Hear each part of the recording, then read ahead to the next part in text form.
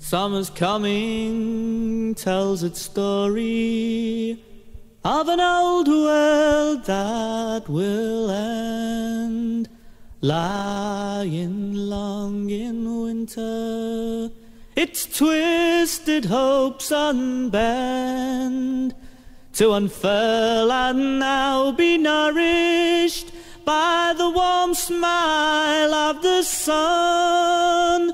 A time so long awaited has now at last begun.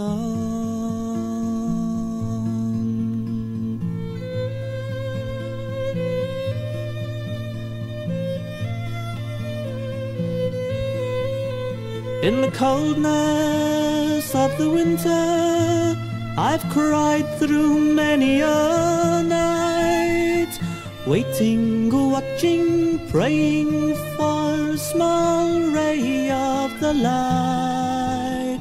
My time long spent in waiting, at last the pain is stilled. A cup that lay long empty, at last can now be filled.